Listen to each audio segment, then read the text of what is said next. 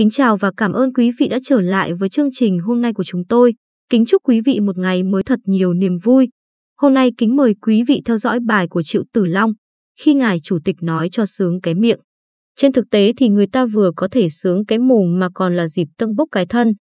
Tin tức cho biết, chiều ngày 27 tháng 12 năm 2021, Chủ tịch nước Nguyễn Xuân Phúc dự trực tuyến ở đầu cầu Hà Nội và đoàn đại biểu Quốc hội thành phố Hồ Chí Minh đã có buổi làm việc với các sở. Ngành giám sát việc thực hiện chính sách pháp luật về công tác quy hoạch trên địa bàn thành phố. Phát biểu tại buổi giám sát, Chủ tịch nước Nguyễn Xuân Phúc khá văn vẻ khi trổ tài quan sát, chúng ta thấy vào phòng họp của Ủy ban nhân dân thành phố Hồ Chí Minh, cách đây 100 năm người Pháp đã treo bản đồ định hướng quy hoạch thành phố. Tầm nhìn là như vậy. Giờ ta phát triển quy mô lớn hơn thì tầm nhìn phải xa hơn, và rồi diễn giải sau đó, ông Nguyễn Xuân Phúc nhấn mạnh, có dự án 18 đến 20 năm chưa triển khai, người dân kêu qua trời đất. Đại biểu Quốc hội phải bảo vệ quyền lợi hợp pháp, chính đáng của người dân. Ông cũng cho biết, sắp tới ông sẽ làm việc với thành phố Hồ Chí Minh và huyện Củ Chi, Hóc Môn để kêu gọi đầu tư. Nếu Hóc Môn, Củ Chi có đường cao tốc, đường sắt trên cao thì đất Củ Chi, Hóc Môn cũng không kém quận 1. Nếu ta có tầm nhìn quy hoạch phát triển các khu vực này, Chủ tịch nước khẳng định. Người dân thoạt nghe những tuyên bố hùng hồn ở trên của ông Chủ tịch nước, ắt hẳn sẽ mừng lắm, vì biết đâu trong nhiệm kỳ 4 năm làm đầy tớ hiện tại của ông Nguyễn Xuân Phúc, người ta sẽ thấy một đại biểu cung cúc, tận tụy vì dân, vì nước để hết mình dốc hết sức lực lẫn quyền lực của một chủ tịch nước. Và nếu mai đây lẽ gì đó mà Tổng bí thư Nguyễn Phú Trọng tuổi già, sức yếu, thì quả tình kế vị xứng đáng khó thể ai so bì với đảng viên Nguyễn Xuân Phúc biết lo lắng cho dân đến như vậy. Thời gian mà thành phố Hồ Chí Minh lâm cảnh giãn cách ai ở đâu ở yên đó để đảng và nhà nước chống dịch, người ta cũng thấy một chủ tịch nước hết sức quan tâm đến chén cơm manh áo của dân chúng. Cuối tháng 7 năm 2021, trong buổi làm việc với thành phố Hồ Chí Minh, trên cương vị chủ tịch nước, ông Nguyễn Xuân Phúc khuyến cáo biến thể Delta rất phức tạp và còn nguy hiểm. Do đó nên chủ tịch nước nhấn mạnh nhiệm vụ với thành phố Hồ Chí Minh với những mẫu câu xin được nhắc lại ở đây. Trước hết, trên hết và quan trọng nhất lúc này là bảo vệ sức khỏe và an toàn sức khỏe của nhân dân thành phố. Giảm tối đa số ca tử vong chúng ta phải tập trung mọi nguồn lực để lo vấn đề này văn bản chỉ đạo của chúng ta đã đủ, vấn đề cốt lõi là tổ chức thực hiện. Chỉ thị 16 nêu đã rõ, người cách ly với người, nhà cách ly với nhà, khu phố cách ly với khu phố, tỉnh cách ly với tỉnh vừa qua chúng ta đã thực hiện các biện pháp, nhất là chỉ thị nghiêm khắc của thành phố, chúng ta đã thực hiện tốt. Và nếu chúng ta thực hiện nghiêm ngặt từ trên xuống dưới, cả hệ thống chính trị cơ sở đi từng ngõ, gõ từng nhà, ra từng người thì chắc chắn sẽ kiểm soát được. Chủ tịch nước chỉ đạo rất kiên quyết để giãn cách, cách ly nghiêm và dài thì phải lo cho dân, nhất là người nghèo, không được để thiếu đói. Nhà nước, Mặt trận Tổ quốc Việt Nam, các đoàn thể, hệ thống chính trị ở cơ sở, tất cả các tổ chức thực hiện thiện nguyện đều phải chung tay. Không được để người dân thiếu cùng cực, bảo đảm điện, nước, viễn thông, bảo đảm an ninh trật tự cho người dân. Lực lượng thiện nguyện trên địa bàn cần được tổ chức cấp thẻ, được tiêm vaccine như lực lượng tuyến đầu. Thành phố phải chủ động hơn nữa trong việc cấp thẻ cho các đối tượng để đưa hàng hóa, vật tư các loại, cấp cứu một cách chủ động, không được để bị động, trong đó có taxi. Shipper Những chỉ đạo dân túy kể trên của Chủ tịch nước, oái oăm thay, đó lại là hệ lụy ở thời gian huyễn hoặc tự sướng về thành tích chống dịch giai đoạn chính phủ thời Thủ tướng Nguyễn Xuân Phúc. Nếu ngay từ giữa năm 2020 khi Đà Nẵng bùng dịch đợt 3, Thủ tướng Phúc quyết đoán để ký kết đặt mua vaccine phòng COVID, có lẽ mọi chuyện sẽ không như những tăng thương hôm nay. Điều đó cũng đúng với chuyện quy hoạch treo mấy chục năm, có phần lỗi từ quản trị quốc gia của nhiệm kỳ Thủ tướng Nguyễn Xuân Phúc. Tiếp theo chương trình kính mời quý vị theo dõi bài bình luận của Trần Cẩm Tú, dây thòng lọng nguy hơn xe ứ động ở biên giới. Kính thưa quý vị, tại Anh, tại à? Tại cả đôi bên, chính sách ngoại giao kinh tế cây gậy và củ cà rốt của Trung Quốc, cũng như các biện pháp Trung Quốc phong tỏa Việt Nam, dù mới chỉ trên biên giới đất liền, chủ yếu là để là để dằn mặt Việt Nam. Lý do dằn mặt có thể có nhiều.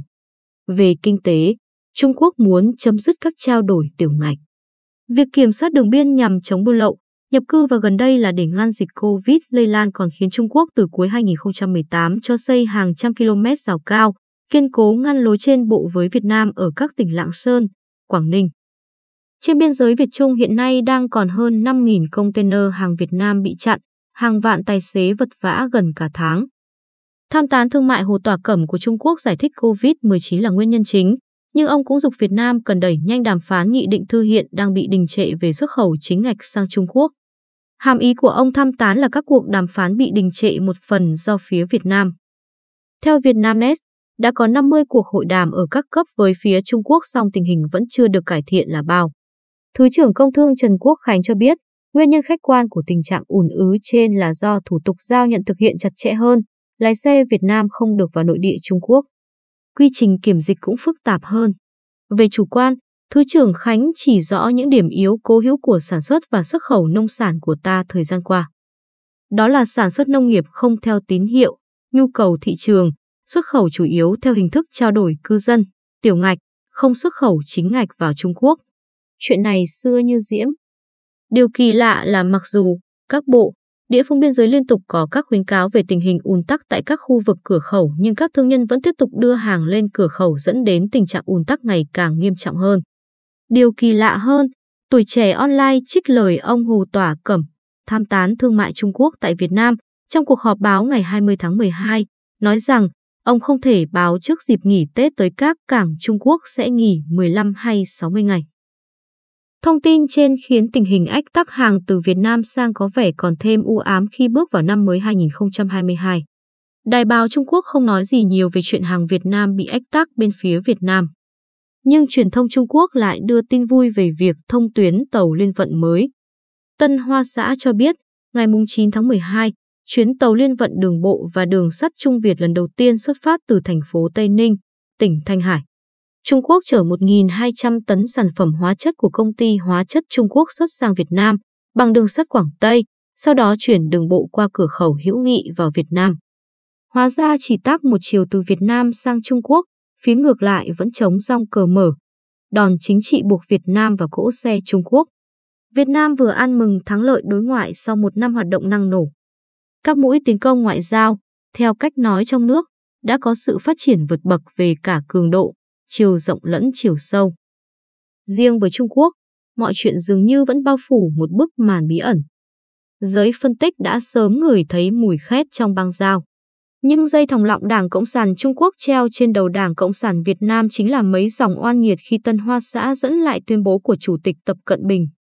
Trung Quốc cho rằng, hai đảng, hai nước tăng cường hợp tác để thực hiện hai mục tiêu 100 năm thành lập đảng và thành lập nước. Theo đó, Đảng Cộng sản Trung Quốc sẵn sàng có những nỗ lực tích cực với Việt Nam để xây dựng hai nước thành một cộng đồng chung vận mệnh mang ý nghĩa chiến lược. Trung Quốc khoe không chỉ đã ký kế hoạch hành động cộng đồng chung vận mệnh mà còn khởi động phương án để thực hiện kế hoạch ấy với Lào. Đề nghị cũng được ông Tập Tái khẳng định trong cuộc điện đàm với Chủ tịch nước Nguyễn Xuân Phúc hôm 24 tháng 5 năm 2021.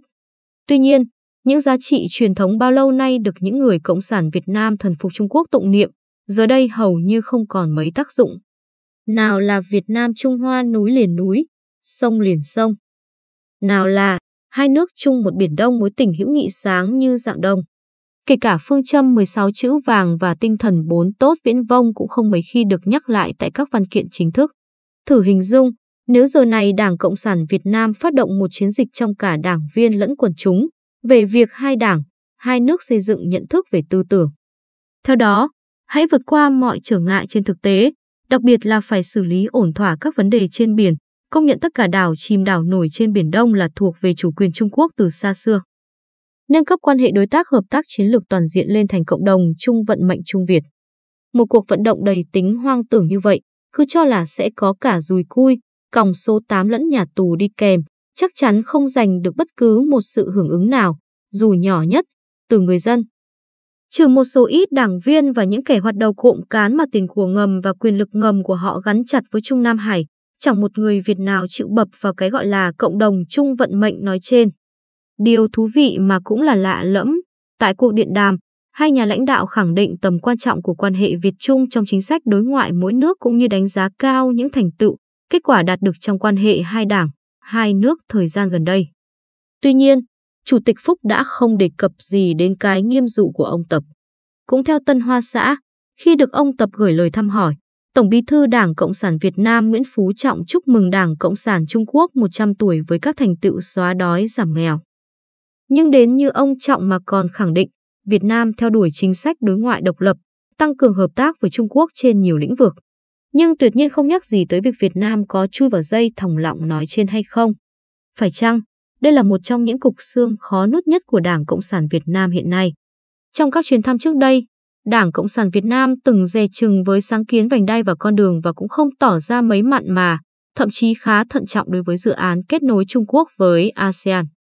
Nay lại thêm các khúc xương khác, cuộc thương lượng mang tính chất áp đặt về cọc năm 2022 và nghiêm dụ bao lâu nay đối với cái gọi là xây đắp vận mệnh Trung Trung Việt để bảo vệ chủ nghĩa xã hội thế giới.